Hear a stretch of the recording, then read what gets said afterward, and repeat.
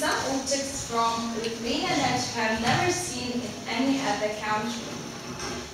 First of all, Vilnius is the heart uh, of the capital of Lithuania. It is the oldest part of Vilnius on the left, left shore of River Neris.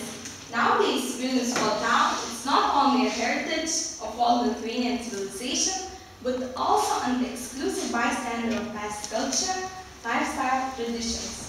More to them, of the, uh, the capital of Lithuania is considered to be one of the greenest capitals in the world. There you can see some pictures from Vilnius. Picture. Lithuanian cross-crafting and symbolism of crosses was also included in the UNESCO Heritage List. There is nothing to be surprised about these traditional Lithuanian crosses. It is unique masterpieces of combination of architecture, blacksmith, sculpture, and painting. Crosses with iron tops, ornamentations, some wooden sculptures of various subjects as very important treasures of Lithuanian folk heritage. Here you can see some photos of Lithuanian crosses. And Hill of Crosses, which is in Lithuania. Kernavė is a unique Lithuanian five mounds complex in the Baltic states. It reveals the old disappeared culture, civilization, and the most important periods of Lithuanian history. The town was included in the UNESCO World Heritage List in 1994 and nowadays is a marvelous Lithuanian corner where visitors are able to feel the power of the past in this vicinity. There you can see a photo of Kernavė.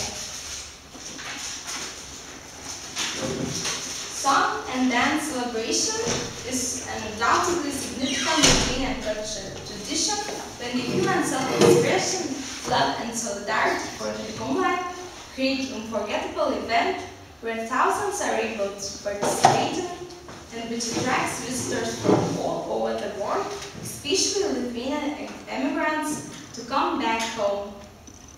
The Lithuanian Song and Dance Celebration is a national level occasion which is even included in the UNESCO World Heritage List as to be an accredited, eh, accredited worldwide culture. So there you can see some photos of the Lithuanian Song and Dance celebrations. And now you can hear one of the most beautiful Lithuanian songs.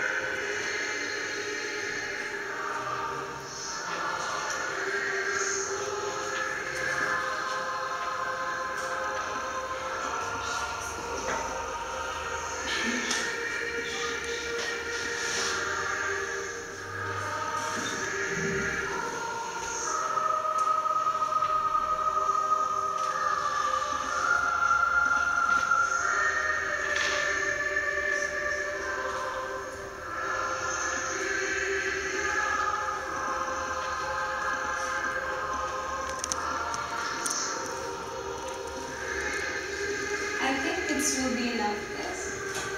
Hmm? and now see traditional Lithuanian dance and the dance celebration.